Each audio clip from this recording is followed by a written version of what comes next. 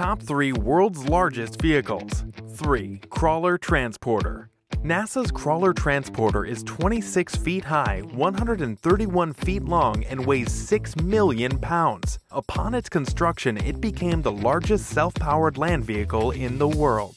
2. Bagger 293 this giant bucket wheel excavator is 315 feet high and 739 feet long. It weighs 31,300,000 pounds, making it the heaviest land vehicle in the world. 1. F-60 Described as the lying Eiffel Tower, this monstrous machine is 260 feet high, 1,647 feet long, and weighs 30 million pounds.